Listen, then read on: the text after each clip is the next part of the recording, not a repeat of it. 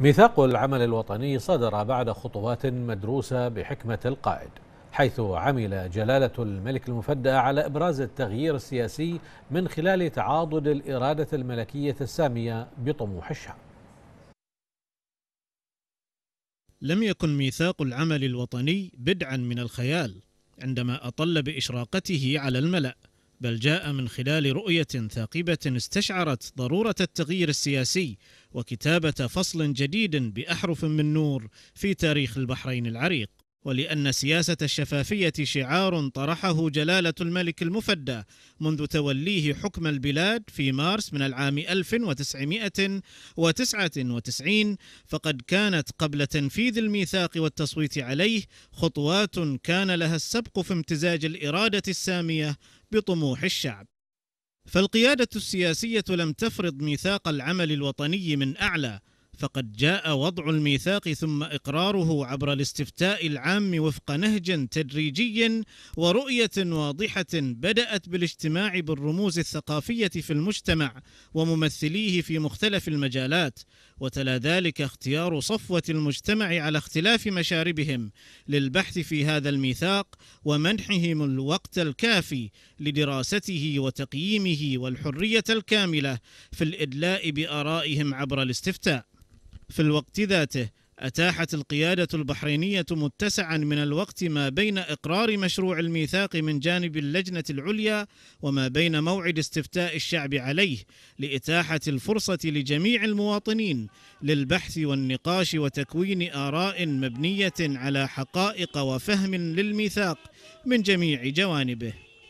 كما دعم جلالة الملك المفدى هذا الحوار الشامل بقيامه بزيارات لمناطق كثيرة من البلاد وكذلك استقباله أكثر من مرة رموز المجتمع البحريني من جميع الفئات والطوائف وتلمس رؤاهم ومقترحاتهم عن مسيرة الإصلاح. وأظهرت هذه الزيارات مدى التفاف الشعب البحريني حول جلالة الملك المفدى وتوجهاته الإصلاحية ومشروع الميثاق الوطني.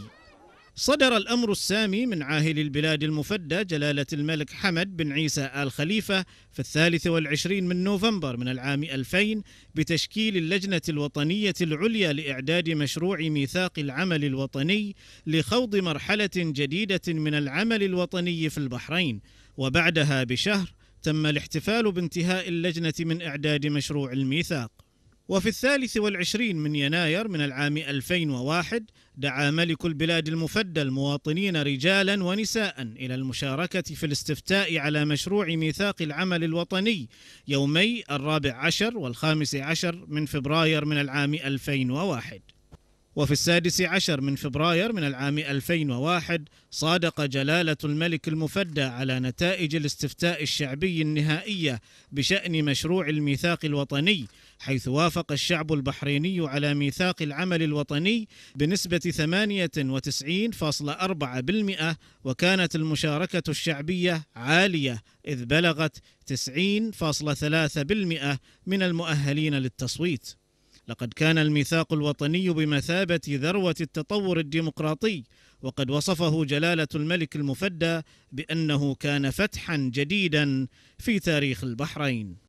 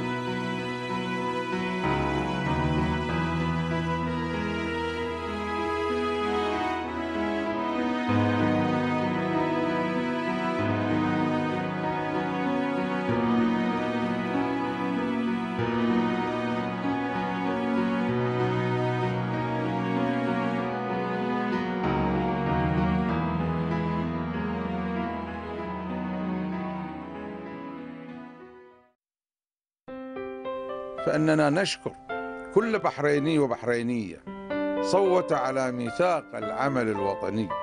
فجميعنا شركاء في الوطن مهما اختلفت الآراء وتعددت. وندعو الجميع للمشاركة الإيجابية في خدمة الوطن والحفاظ على الثوابت الوطنية